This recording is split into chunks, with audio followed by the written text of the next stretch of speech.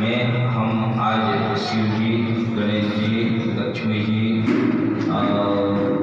सरस्वती जी, लड्डू गोपाल भगवान, दुर्गा मैया की स्थापना करने जा रहे हैं। प्रभु, इस कर्म के आप साक्षी हैं, आप गवाही हैं, ऐसे भाव के साथ में दीपक का दर्शन।